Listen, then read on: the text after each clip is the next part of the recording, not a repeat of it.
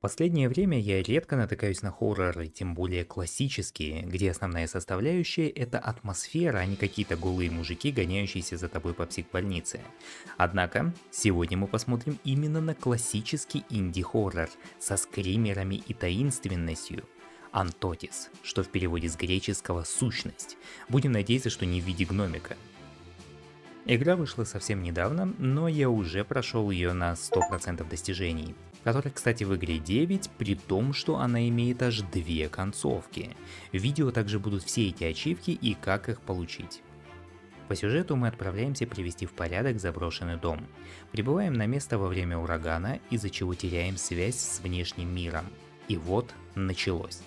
По ходу прохождения мы находим различные записки о том, что с семьей, которая жила в этом доме, что-то происходило. Но записки это отдельная ачивка, и мы посмотрим расположение их всех в конце видео, как и еще одно собирательное достижение.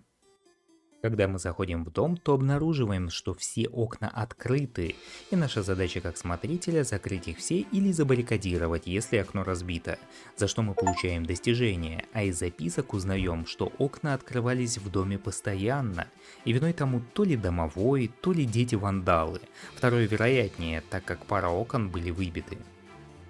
Из окна мы замечаем красный свет вдалеке и, разумеется, решаем пойти посмотреть.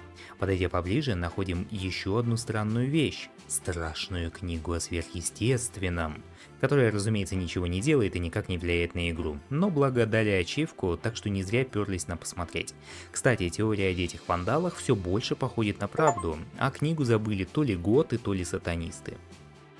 Далее находим стрелку и чиним старинные часы, после чего раздается телефонный звонок с плачущей женщиной на той стороне, порыдав, которая резко бросает трубку. Ачивку-то мы за это получаем, но осадочек остается. Открыв калитку на задний двор, мы узнаем, что там есть кладбище, и даже находим могилу бывшего хозяина дома, который, как оказалось, был священником и боролся с какими-то неведомыми демонами. Видимо, проиграл. Кстати, после кладбища нам не дают вернуться обратно тем же путем. Какая-то незримая сила не пускает нас, говорит, что не стоит оборачиваться назад, нужно идти дальше, двигаться вперед. И тут мы начинаем подозревать, что это не какие-то там темные силы, а просто призрак тренера по мотивации. Хотя сути это не меняет, назад нельзя. Но за попытку вот тебе достижение и купон на бесплатный вебинар.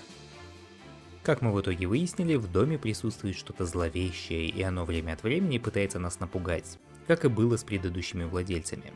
В целом, действительно инди-хоррор такой, какой он и должен быть. Кстати, спойлер, главный злодей – Большой Петух.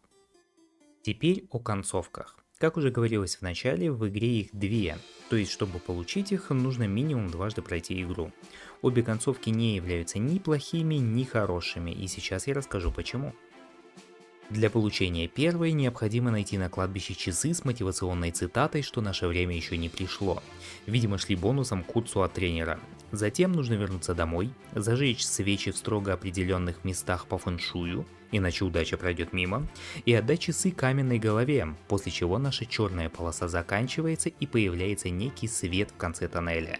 Темные силы, запершие нас, отступают, и мы со спокойной совестью валим с этого проклятого семинара, ну то есть уходим из дома. Получаем достижение за первую концовку. Итог. Мы живы, но в реанимации. Наша жена умерла и винит нас в своей смерти. Вторая концовка пропитана женским коварством, так как по ходу сюжета время от времени нас зовет женский голос, который напоминает нашему герою о жене. Так вот, оказывается, это она нас и зовет – Вон, даже руку протягивает. Но куда же она нас затащит? Надев подсобки церквушки, что рядом с кладбищем обручальное кольцо, возвращаемся домой, надеваем кольцо на палец руки, вылезшее из зеркала, за что в обмен она нам дает мозг который, судя по всему, выклевала своими криками «Иди ко мне, не бросай меня, у нас еще ипотека не закрыта».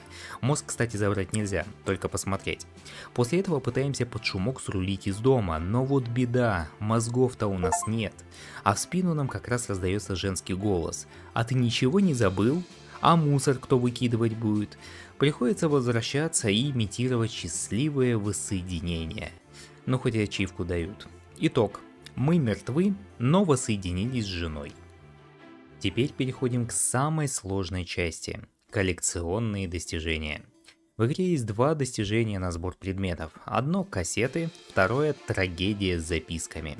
Кассет всего три и найти их несложно, а вот записок не только 20, но они еще и раскиданы не пойми где. Начнем с кассет. Кассету номер один можно найти в кабинете с компьютером в одном из ящиков тумбочки. Кассета номер два располагается в крошечной комнате с глобусом и двойными дверьми.